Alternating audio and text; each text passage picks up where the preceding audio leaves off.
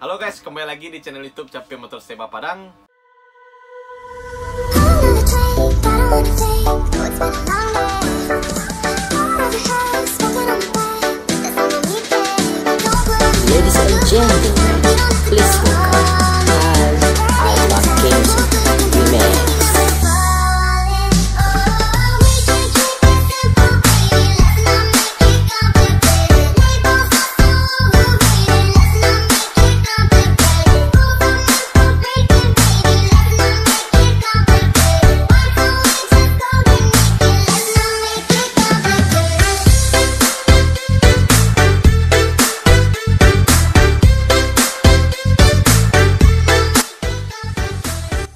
Saya akan mereview shockbreaker terbaru dari VND Racing guys. Dari sekian lama kita sudah mulai vakum eh, review-review produk. Kali ini kita akan review lagi.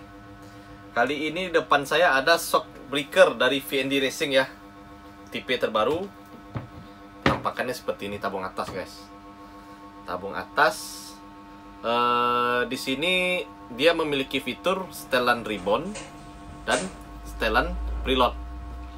Nah, untuk ukurannya sendiri yang tipe AK99 ini ada tiga ada 6, 6 ukuran ya. Yang pertama itu ada punya Mio. Mio atau Bit Carbu 300 305 mili. Terus ada Vario 330 mili. Ini 330 ya, guys. Terus ada Nmax Nmax lama 335 mili. Terus ada juga bebeknya ya 283234 nih 283234 Nah untuk warna sendiri masing-masing ukuran ada tiga.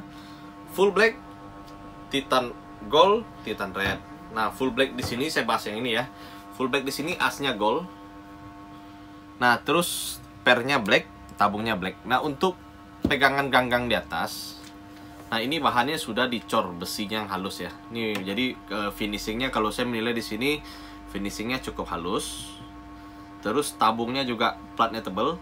Cuma ukuran tabungnya agak kecil dari tipe-tipe sebelumnya gitu loh. Nah AK99 ini ini adalah keluaran VND untuk yang harga paling ekonomis tabung atas guys. Jadi bagi kalian yang pengen shock shock breaker yang racing atau yang road race atau yang yang bagus lah yang ribbonnya aktif pakai VND AK99 juga bisa. Nah harganya kita bahas harga ya. Harga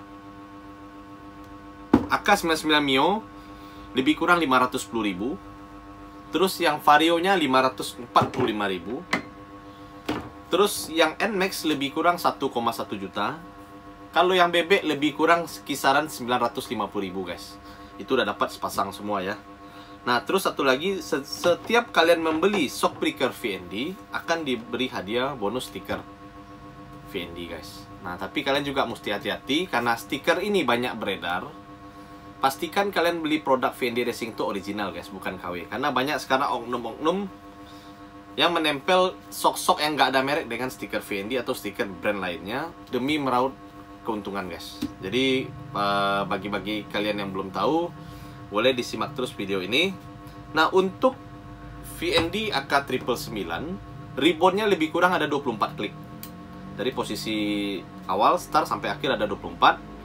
Terus yang di sini dekat tabung ada seperti mainan atau monel. Kalau saya sih sebut ini variasi aja.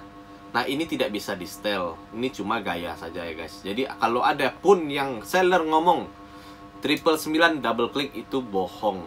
Jadi kalian harus tahu dulu fungsinya karena ini bukan double click ini cuma manis pemanis saja nah untuk setelan preload juga bahannya sudah CNC ring yang bawah tempat dudukan pernya juga sudah CNC guys. Nah ini semuanya produknya seperti ini. Produk elegan. Nah untuk itu kita bisa tes ribbonnya ya guys.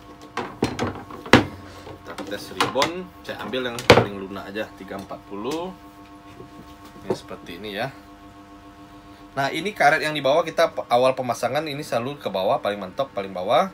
Ini gunanya untuk mencegah si tabung pada saat jeduk ke bawah dia aman karena ada bantalan karetnya. Nah ini posisi awal kita nolkan nol. Nah ribbonnya seperti ini ya.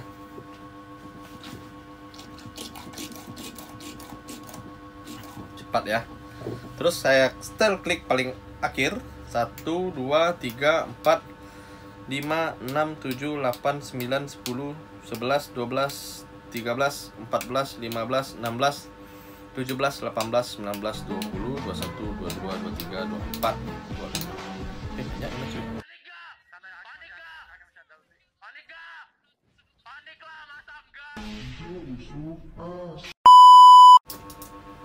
Nah, untuk setelan yang ini kita tes ribbonnya, saya setel paling akhir, lebih kurang 24 klik. Nah, ini ya. Ini kalian lihat dia pada saat saya tekan, berapa lama waktu si tabung itu naik ke posisi awal. Ini naiknya pelan ya.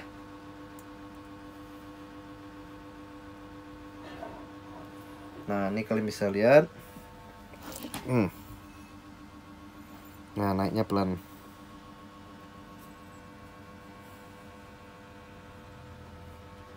Nah, naiknya pelan. Berarti ini membuktikan apa? Bahwa VND AK999 ribbonnya aktif ya, guys. Nah, jadi untuk kalian eh, yang mau order bisa langsung order ke Instagram saya Champion Motor Steba serta kita punya link juga langsung ke Shopee kita ya, guys. Nah, untuk sekarang sih posisi stok kita semua masih lengkap. Semua ukuran ada, semua warna ada.